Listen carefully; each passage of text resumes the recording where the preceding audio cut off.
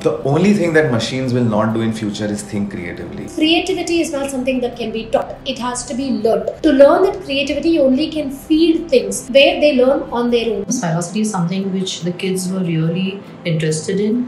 And at a very early age, I felt that they could do very, very easily. Otherwise, in anything that you teach new, generally any teacher or student takes time. But this particular thing I saw in minutes my daughter and I really like uh, the stamp part. It gives the freedom to the user and create any kind of a thing. For me, being a creative is very much important. If a child is creative, that means he's curious. I think critical thinking works around when you do have DIY toys, toys at home like Imagimake That cognitive development comes in a kids when they use their creative thinking. To solve bigger problems or to deal with a situation, you just need imagination, you need creativity, you need critical thinking. All of that comes with play and that's where these products are helping.